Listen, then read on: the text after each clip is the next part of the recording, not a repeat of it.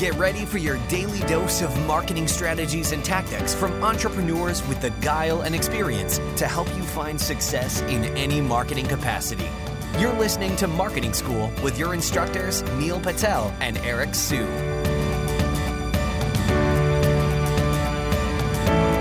Welcome to another episode of Marketing School. I'm Eric Siu, and he's Neil Patel.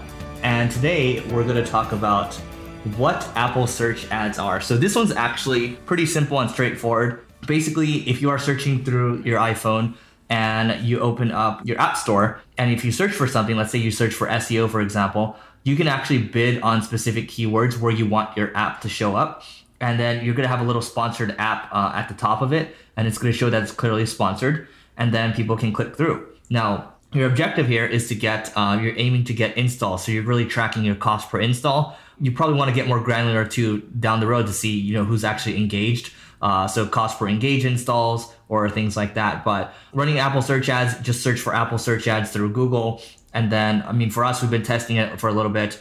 And i will say the average cost per install or cpi uh, has been getting higher over the years. And we've been finding that running these Apple search ads, we're getting around anywhere from a three to three dollar fifty cent uh, CPI, which is not bad. Um, it's comparable to kind of the other platforms out there, but it's just good to have this ecosystem that's available to you. To you know, if you have an app right now, you're, you're trying to push it. Um, this is just another way to to get in on it. Um, you have the options with Google, you have the options with Facebook as well. Um, and there's a host of other ones, but um, Apple coming into the game, that's definitely welcome. So, Neil, do you have any experience around this? Have you tried this? Yeah, I found it doesn't work too well unless your app already has decent ratings. If it's a brand new app, sure, you can use it to get a quick boost. But if you don't have decent ratings, the ads are just aren't as effective. And it's not just about the rating star, like are you a five star? It's if you have five stars and only five people rating, that sucks if you had a five star and over 200 people rated it, now you're talking. Your ads are going to get way more clicks, way more installs. The cost is going to be way lower. So check it out. It's worth using.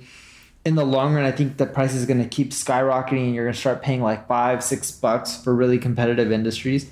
But overall, it's pretty effective what I will say also, I mean, the, the app kind of the, the gold rush for apps, I think that's certainly passed a couple years ago where it's like, oh, if you make an app, you're just going to make billions of dollars. Instagram, case in point. So I, I think, you know, I think apps are, you know, for some of our clients right now, it's really supplemental to what they're doing. Uh, their main business is, you know, it's a, it's a web based business, right? Um, not so much around apps, but don't try to bet everything on on apps if that's what you're trying to do. Um, it is really expensive right now. It's not as it's not like the early days where you can just you know get CPIs below a dollar and then just crush it that way. So um, there's not much more to add around this. I do recommend you know reading up a little more around it. It's not super sophisticated. We're talking like Facebook ads or Google AdWords. Um, so take a look at it. It might be worth a shot for your business, and let us know how it goes. I mean, you know, tweet at us to just tell us how your results were, and then maybe we'll mention it in, in, as a case study in another episode. So that's it for today, and we will see you all tomorrow.